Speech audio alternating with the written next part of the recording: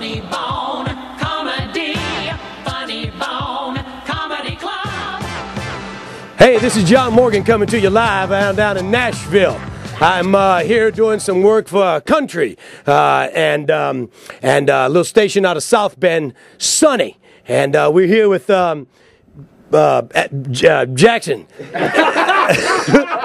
and uh, he's got a concert going on, and I got backstage passes, and I'm here with him today. It's been uh, it's been real being here at this concert, and um, and and we, we've been having a good time. Is that correct?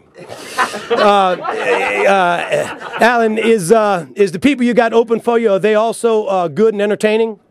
Oh, good, good. Um, he has a sore throat right now, and uh, he is uh, he's nursing it with some Ricola, and uh, he'll be on stage in a minute. It's been my privilege to be with you, um, Alan. Step up on the stool for me. That's good. Um, A- uh, Alan and I have been together for quite some time, and uh, Alan, they can't hear you speaking to the microphone.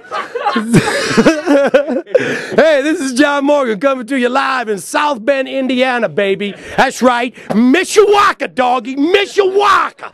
Couple of things you need to see while you're here, baby. The adult emporium looks like a booth, just like this. Got a hole on both sides, in case something comes out. That's your thing? Get on it. It ain't back out the booth. They got the Studebaker Museum, wonderful automobile. Lasted about three years. That's how good it was.